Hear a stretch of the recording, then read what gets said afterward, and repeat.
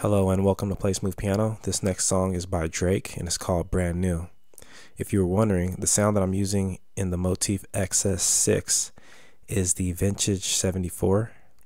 It's like a Rhodes piano. And what we're going to do is we're going to start off with the right hand. You're going to start off playing this chord here, which is basically a B flat, D flat, G flat, and then a B flat an octave higher. So that's the first chord the second chord, you're playing A flat, B flat, D flat, F,